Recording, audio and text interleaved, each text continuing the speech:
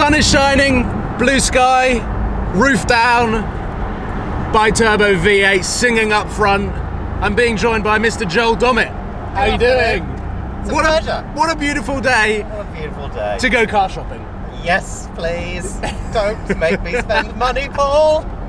Now we have been on a very exciting journey together. We started life on YouTube on Supercars of London, if you remember, in your F-Type, going to look at AMG GTSs. I was your automotive consultant. Yes. Today you've employed me to do exactly that, but you're selling your dream car, and we're going down to G Kirby. I'll explain a little bit more about that showroom and why it's special. You may recognise a familiar face when we get down there. But you're looking for something a little bit more sensible. Yes, just slightly more sensible. Slightly- I'm quite happy for this to be the most amazing car I ever own in my life. I feel like this is my this is my peak. Okay, I'm quite happy to just come down the mountain a little. Okay, so if you were going to be ticking three boxes from a car that you are looking at today, what would it be? Still cool, but less cool. S- still cool, but less cool. Um, uh, not lose too much money, so maybe a little bit older. Okay, so something that's already, someone's already done the depreciation Yes, for please. you. Number And three. A little bit more practical. Okay, is it McLaren 12C drives past? Let's see what they have on. I want that one.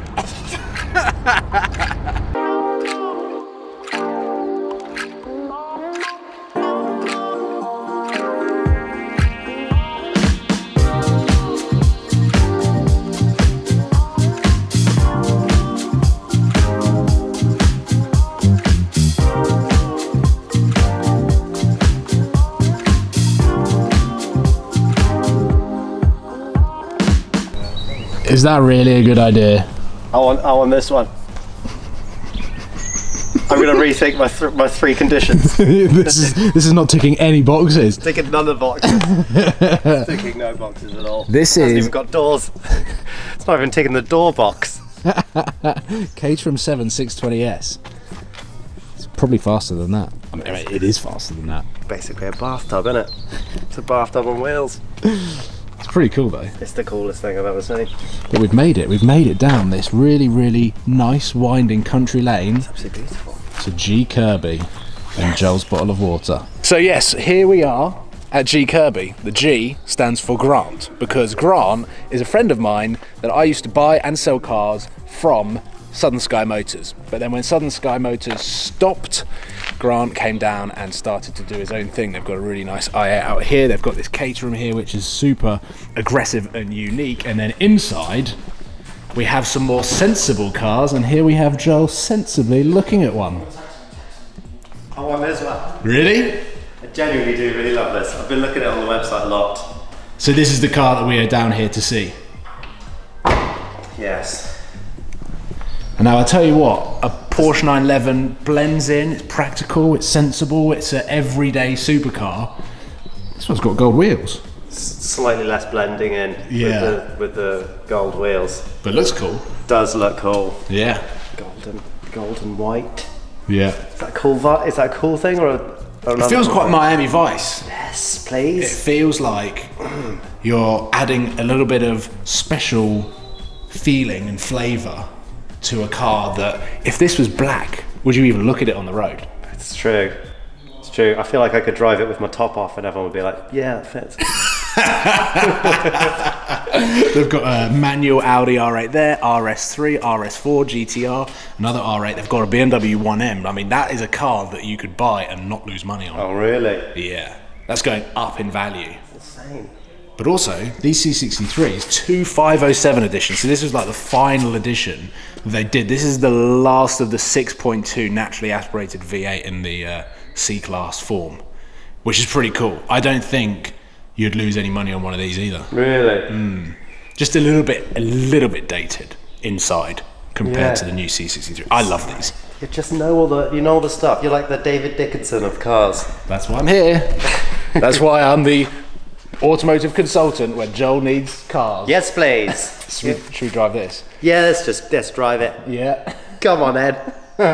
this is going to be a, a different experience to that GTS because it's rear engined. It's not mid engine, it's rear engine because it's the engine's over the. Yeah. Rear wheels. Rear wheels. Yeah. Um, Four seats.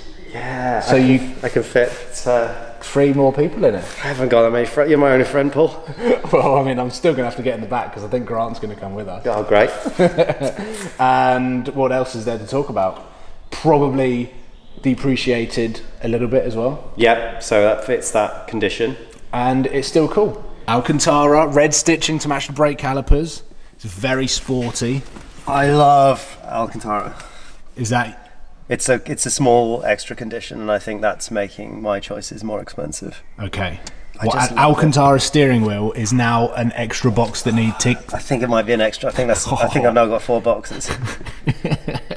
I would love it if it had had Apple CarPlay, but I No, you can't add a fifth box. I had a fifth box. That's going to be too expensive. I isn't it? don't think you can have. You can't have a not a car that's already depreciated and have Apple CarPlay. Yeah. I think let's get the keys from Grant. Let's get a camera set up. Yep. Carrera GTS, naturally aspirated. This is the good era of GTSs. Yep. I actually quite like this, you know. I really like it because I, I think people kind of you don't necessarily look at Porsches, and that's what's kind of good about them. You look at them if you know them, and if you don't know them, you're like, oh, that's a cool car. Yeah, if you don't know cars, you just look like. You go like, that's cool. Yeah. Yeah, But if you do know, yeah, you're like, oh, that's a GTS. yeah. That's a naturally aspirated e- engine. not- Not, Exactly. an exhaust. It's um, but this is also white with gold wheels, so it's a bit like, ooh, Bit Laria. it's a little bit Laria.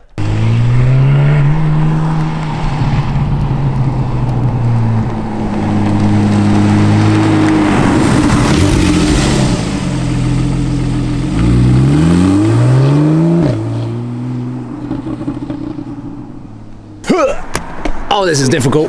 Oh, this is difficult. Seat's too far forward, haven't Now you gotta get in. Musical chairs in the Porsche. Would look so weird to anyone having lunch in this pub. let's all swap. Let's all swap. I want to go in the front now. um, right. How do I do it? You turn it. Oh, it's warm, innit? It feels warm. We can, we can. Button at the front, yeah. And then- It's a bit more analog, if that's the right term, of phrase, than, you, than, the, than the GTC. Is this the first Porsche you've driven? Uh, yeah, in fact, actually, I drove. This is kind of partly why I really love it. I drove a GTS before I bought that car, and sort of Ah. thought about it because and then I'd never driven a Porsche before. And Okay, so this is your second Porsche. my you've second GTS. I've never driven another one, but um, I really, um, I really love them. I just, out of all of the Porsches for me, it feels like the one. Feels like the, yeah, the high middle level. I think it's a, Yeah. for a lot of people, and for me, it's a sweet spot because it's it does every, it does a lot of the things that the, the sort of the higher GT stuff does. It's a little bit more hardcore than the, the Carrera S is. It's, it is literally smack bang in the middle of what we were talking about. A Yeah. little bit higher than a daily Porsche, Yep. and a little bit lower than a special weekend Porsche. Yeah. This is this is that middle ground. If you want a daily and a weekend car in one, every Porsche drives so well. And like when I was younger, I just didn't get them. I just saw Porsches so often that they uh, they were never exciting. They were never an exotic, like in the same way a Ferrari or a Lamborghini was. But now, having driven some and experienced them, even like a Macan, Yeah. I Yeah. love the Porsche Macan. I think it's such a cool car. Haven't you got one at the moment, a Macan? I did. We sold it yesterday. Oh, So we sold it when I. That was a really cool car. It's um, but as you say, it's funny because I don't like Q5s, and I, I, and I don't know what it is because it's technically the same floor plan, but the Macan just feels right. And I, It does. I can't put my finger on it. I think it's the must be the steering. Yeah, it's just just a really cool. car. I'm not a big. I like big four wheel drives, not small ones. Yeah. But that is. I, I, I used that white one for a while. It was um. Yeah, really enjoyed it actually. So we've like got some boxes that Joel's looking for in a new car, Yeah. and he added a fourth box, which is an Alcantara steering wheel, which is Which is hard. It's hard You know to. what? It's, it's really funny. I'm really funny with steering wheels because actually, This again, lovely. being, it's the one thing. It's the touch point, isn't it? That you, Yeah, you sort yeah. of interact with the car, and Yeah. It's it's so important. Drive a car with a rubbish steering wheel, it can let the whole car down. Yeah. it's really funny. There's a few things that That's why I love BMWs, like the M3s with the really chunky steering Yeah. wheel. You can properly grip it. Yeah. Imagine, because I sometimes drive barefoot, Alcantara pedals. so amazing. I That's- feel like you were sort of like prodding a dog with your puppy, like kicking a puppy. Just got a few gear. Build-A-Bears down by my feet. Yeah, exactly. Just strap some to your pedals if you want, mate. yeah, it's true actually. It's a DIY. barefoot, such a Leona Lewis thing to do, you know? It's like so free. It's Connect, it's connect better with the car. connecting with the car. it is nice. A good steering wheel is like a good pair of shoes. Yeah. So now, Now you're in. Now you're probably in the paddles. Does sound good. It's nice. Do you feel? Do you feel excited driving this? do, yeah. Feels really different. Do you feel like you're sitting over the front wheels? Yeah. Sounds good. Look at Grant in the back. You look at comfortable. you fit. You fit much better than I do. He's making those noises himself. It's not the exhaust. He's trying to sell the car. He's like, bad stomach. Does sound good. It ra- sounds really nice. Enjoying the cavernous rear seats. mm, Yeah. Even the even the rear seats are Alcantara. Yeah, man. it's a lot, isn't it? Yeah. Alcantara everywhere. Like the GTS spec wise, carbon, Looks good in your rear. cup holders. Oh my god. That. Oh, that's cool. Both cars next to each other, Grant and Joel having a discussion. So I will show you guys around the two cars. Joel's got the dark grey slash black GTC, red details all over it. And he's leaning towards a white 911 with gold wheels. Did you just say you don't like Porsches and you don't like white cars? Yeah, I think I like this one. I don't like Porsches, I don't like white cars, but I like this white Porsche. It does look so cool when it's out underneath natural light. It is a beautiful looking car. Gold wheels, red calipers.